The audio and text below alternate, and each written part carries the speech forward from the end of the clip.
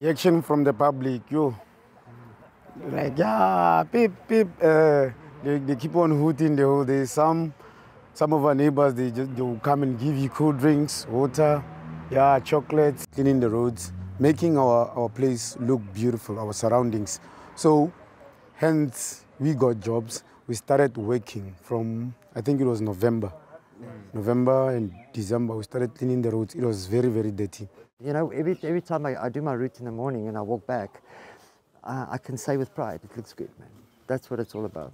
We made a difference. We're hoping to get people to put their papers in a bin. That's what we want. You know, you have to teach them over and over again. You know, if it stays clean, maybe we can, after a while, maybe they'll say, okay, it's clean. We won't throw our papers down anymore. But, but it's a challenge. We've got two sides of a road. We've got the one side and the other side that we have to keep clean. You know, so you, you're carrying through, through, through the streets. And uh, it becomes, it's a job. It's not easy.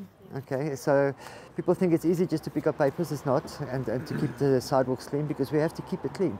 Then you get the weather and you get the branches that are broken off, like we had now. We had quite a lot of wind, and you find these things all over the street. So we have to clean that up as well. We have to cut them. Tshwane doesn't. Um, pick up everything, so we have to know what we can put, pick, put in, the, in the plastic bags for them to remove it. Okay, and we have to put it at strategic places. So, so our, rubbish, our rubbish bags need to go next to a dustbin for them to come and collect it. Otherwise, they will stay there, you know, and they won't pick it up, and it looks even worse.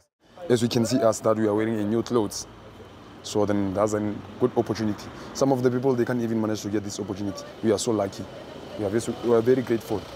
So then, I, as we are as a Moot project, we work to sweep and to pick up the papers each and every day, no matter we're off duty or on duty. Everywhere I'm passing, when I see a little piece of paper, then I pick up the paper. I don't want, I don't want, I don't wait for someone to come and pick up the paper because they failed by the first time. We are trying to push with the Moot project. The Moot is trying to uplift our community for, for those who are unfortunate, uh, for people like us. At this current moment, we've been doing projects, cleaned up the Moot area, starting from Soutpan, and uh, Parker.